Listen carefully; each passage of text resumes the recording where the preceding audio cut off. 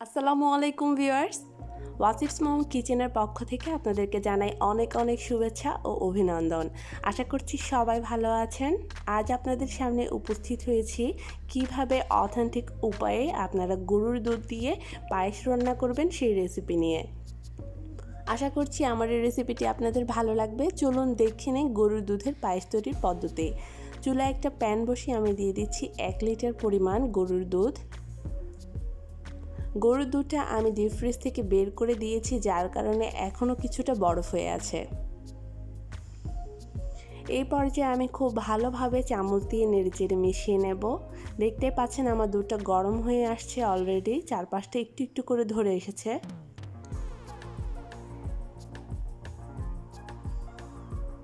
Already দুধের সরও জমা হয়ে গিয়েছে চামচে লেগে গিয়েছে। খুব ভালোভাবে নেড়েচেড়ে মিশিয়ে নিচ্ছি। এ পর্যায়ে দিয়ে দিচ্ছি একটা লবঙ্গ, একটা এলাচ এবং একটা দারচিনি। এগুলো মূলত সুগন্ধের কারণে দেয়া হয়। খুব ভালোভাবে নেড়েচেড়ে মিশিয়ে নিচ্ছি।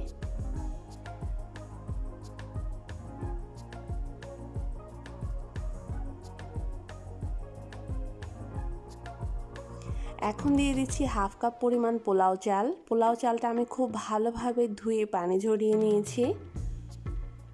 চেষ্টা করবেন এক লিটার দুধে হাফ কাপ পরিমাণ পোলাও চালে দিতে। কারণ হচ্ছে এর বেশি দিলে পায়েসটা ঠিকঠাক হবে না। দিয়ে দিয়েছি হাফ চা চামচ পরিমাণ লবণ। খুব ভালোভাবে নেড়ে চেড়ে মিশিয়ে নিচ্ছি।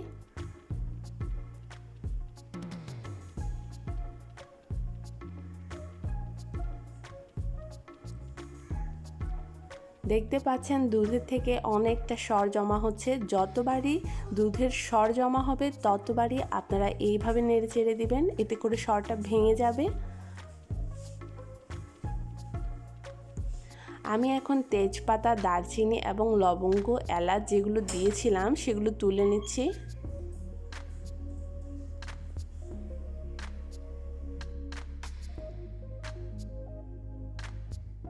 একে একে সব কটা আমি তুলে নিচ্ছি। এতে করে কি হবে? পায়েসটা রান্না করার পরে এগুলো আর মুখে লাগবে না। যেহেতু এগুলো ফ্লেভারের জন্য দিয়েছি ফ্লেভার অলরেডি ছড়িয়ে পড়েছে। এবার শুধু নড়াচড়া করার কাজ। চামচ দিয়ে শুধু নাড়াচাড়া করবেন। এতে করে কি হবে? স্বর যেগুলো উপরে উঠবে, সেগুলো সব ভেঙে যাবে। স্বরে স্বরে পুরো পায়েসটা মাখো মাখো হয়ে যাবে। এই পর্যায়ে আমি দিয়ে দিচ্ছি এখানে হাফ কাপ পরিমাণ চিনি। চিনিটা আপনারা বুঝে দিবেন যে যেমনটা পছন্দ করেন তেমনটা দিবেন। আমি কিন্তু এই পায়েসে লবণ ইউজ করেছি। অনেকেই কিন্তু মিষ্টি জাতীয় খাবারে লবণটা অ্যাভয়েড করেন। তো যারা লবণটা অ্যাভয়েড করেন, তারা লবণটা দিবেন না। আর যারা মিষ্টি জাতীয় খাবারে আরেকটু মিষ্টি পছন্দ করতে বেশি ভালোবাসেন, তারা লবণটা অবশ্যই ইউজ করবেন। যখন দেখবেন পায়েসটি একটু ঘন হয়ে এসছে, তখন এইভাবে ডাল ঘুটনি দিয়ে খুব ভালোভাবে ঘুটে দিবেন। আপনাদের কাছে যদি ম্যাশার থাকে, তাহলে ম্যাশার দিয়েও করে নিতে পারেন। দেখতেই পাচ্ছেন আমার পায়েসটা কতটা ঘন হয়ে এসছে। আমার পায়েসটা কিন্তু অলরেডি হয়ে এসছে। চামচ দিয়ে আমি আমি আপনাদেরকে এর ঘনত্বটা দেখাচ্ছি। কতটা পারফেক্ট হয়ে আসছে। এখন আমি দিয়ে দিচ্ছি এক চা চামচ পরিমাণ ঘি। ঘি দিলে কি হবে? পায়েসের ফ্লেভারটা আরও ভালো আসবে।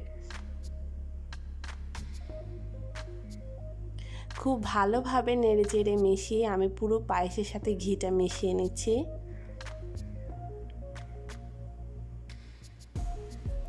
আমার পায়েসটা অলমোস্ট হয়ে গিয়েছে।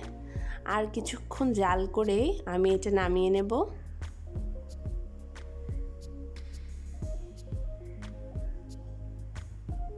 পায়েসটা কতটা ঘন হয়েছে, কতটা পারফেক্ট হয়েছে দেখতেই পাচ্ছেন।